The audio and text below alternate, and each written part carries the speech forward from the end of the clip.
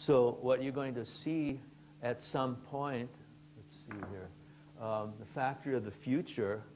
I'm taking this very quickly because I'm trying to cover a lot, and as I said, I don't really want to, to finish around midnight. So um, here, this is the factory of the future. Uh, I had one of the uh, artists at graphic artists at work uh, draw this thing up, and it looks pretty good.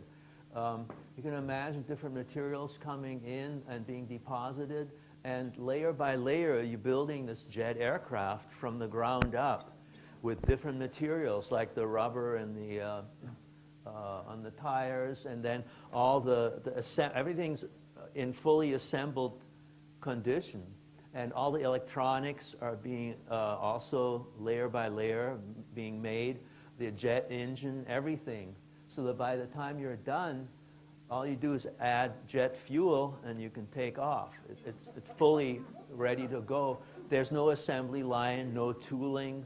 Um, and now, this is not an aircraft factory because the exciting thing about this is that the next file that's being downloaded could be for a video camera, it could be for a Ferrari, um, whatever you want. So isn't that exciting? You know? And, and now we're maybe 20, 30 years from doing something like that. You know, there are a lot of things we can do already, and we're moving in that direction. So um, this is something that's uh, coming in, you know, in the future. It's already in many ways in place. But the reason I'm here is to tell you that all this is going to shrink down to the nano level and going to, you know, this is going to be superseded by nanotechnology. And uh, that's going to go really crazy. So we'll go on with that. uh, now, um, at work, a lot of people tell me, um, you know, you've got to do this really fast. We're in a hurry. They're always in a hurry for everything, and that it's called rapid manufacturing. So of course they expect it you know, be that way. But I remind them it's not instant prototyping or instant manufacturing. It's rapid, manufa um, rapid manufacturing. But uh, there is an example of instant manufacturing, and that's photography.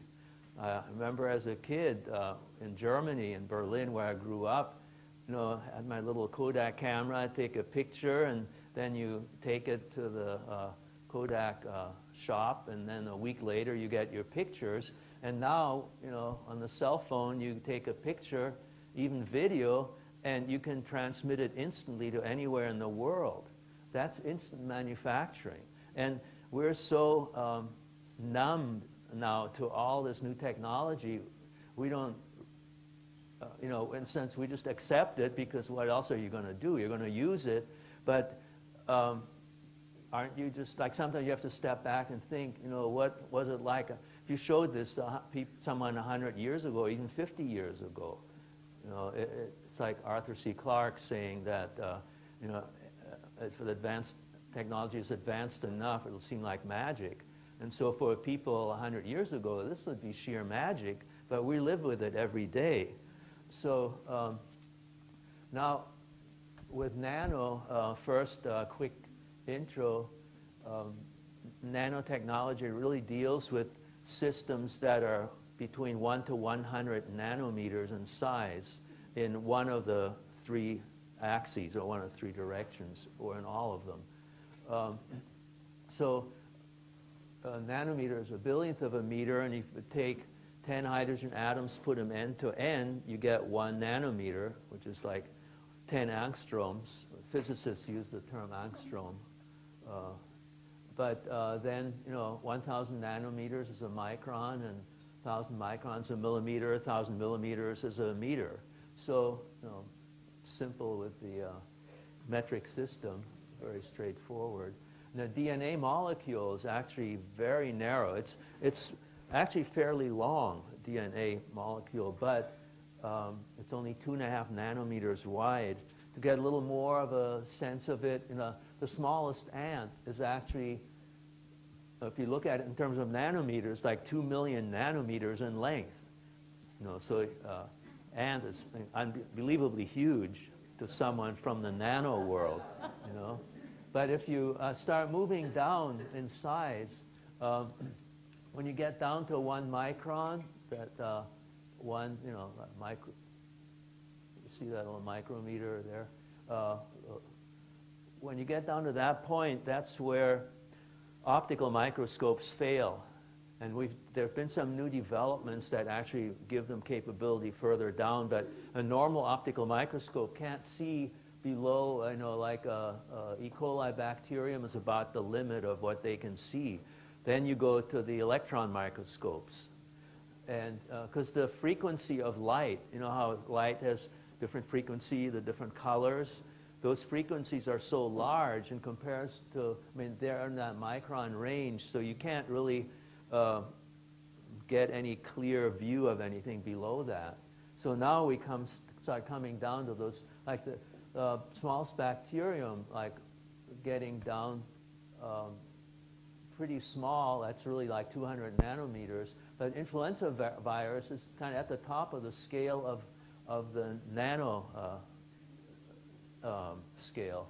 You know, we show you the mesoscale from goes up to 1,000 nanometers, but the 1 to 100 is really the, uh, the place where all this exciting stuff happens. And the reason that we have to develop a whole new technology at this point is because this is where you get the overlap of quantum mechanics from the atomic uh, world, and then and you get the overlap of uh, regular classical physics, which is uh, you know from the larger size. And when those two overlap, you, you have a problem. You know, you have to think things through differently because you can't. Uh,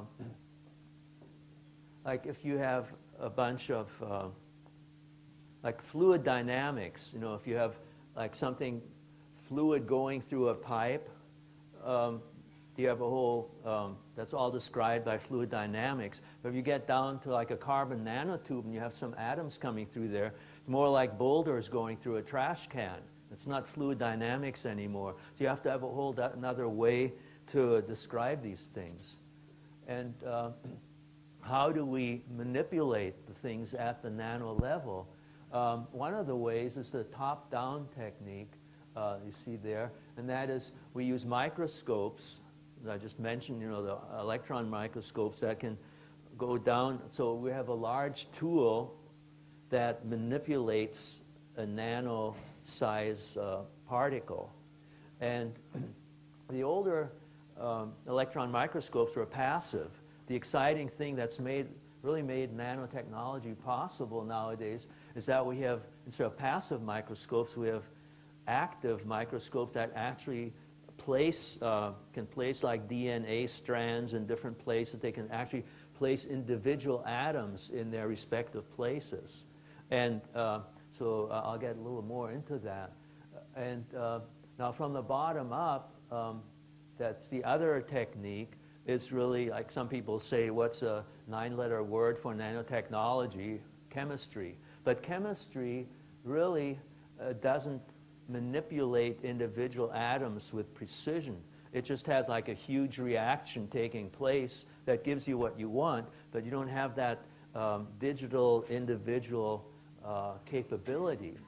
So ideally then, once uh, we get further along, we start to do bottom to bottom, which is when we have nano tools that manipulate uh, atoms individually. So you have thousands of these tools that manipulate uh, the uh, molecules. And that's really when things will uh, completely change our world. Here's another example, and that's, you see the letter F up there, made out of 1,660 aluminum atoms.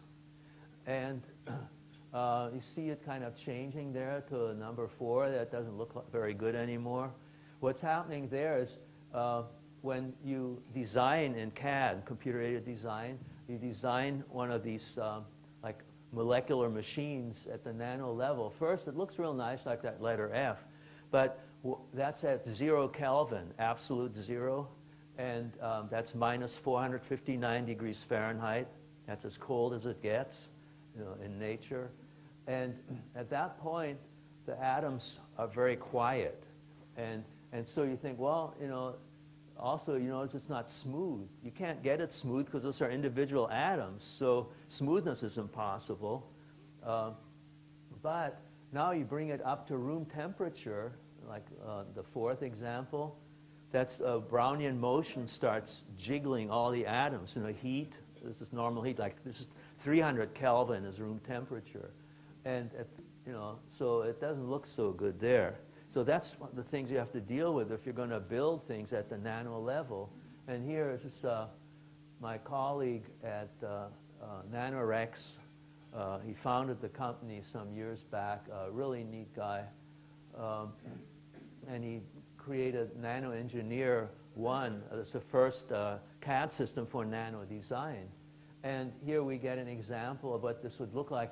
He, uh, he's designed quite a few of these, but it'll be some time before we can actually make them at the nanoscale.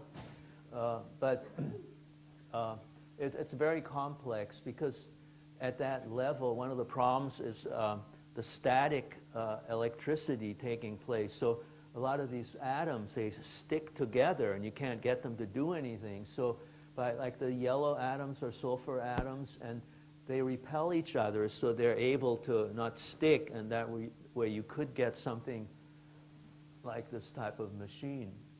You notice how it's jiggling because it's this, the simulation is at room temperature.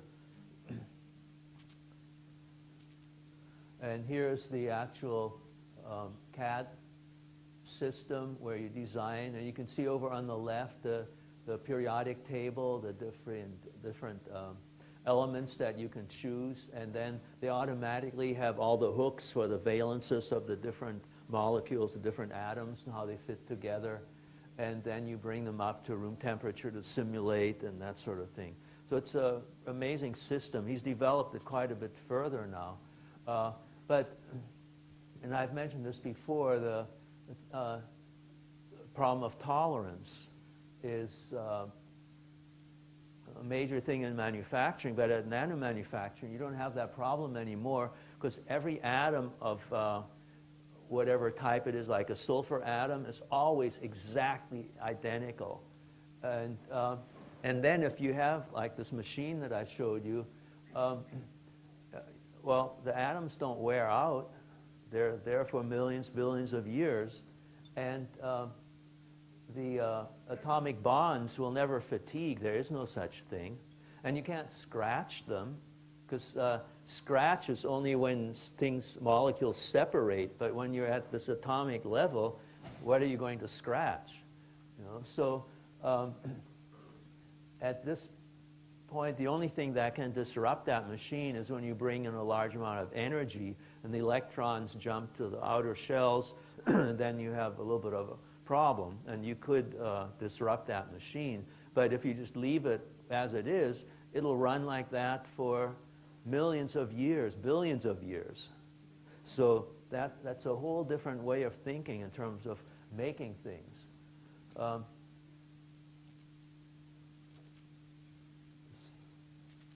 there we go. Uh, now, um, example of this process is uh, dip pen nanolithography from a company called NanoInk. Uh, what they've done is uh, they use an atomic force microscope. And so scanning tunneling microscopes or STMs and atomic force microscopes or AFM for short. Those are the type of, uh, uh, type of microscopy, microscopy that we do at the nano level. And as I said, you know, they, it's not passive, it's active. And so you have a tip. The tip of that um, atomic force microscope is actually 15 nanometers in width at the very tip. So that's the world's smallest pen, you know, unbelievably thin. You, know. you could probably take uh, 10, um, uh, 10,000 of those uh, end to end, and it would uh, form the width of a human hair, maybe. You know, it's just unbelievable. You know. So that's the world's smallest pen. Now, what's interesting is you know, they've got like 55,000 of these pens, you know, placing things uh, layer by layer. Again, you are, this is additive layer manufacturing.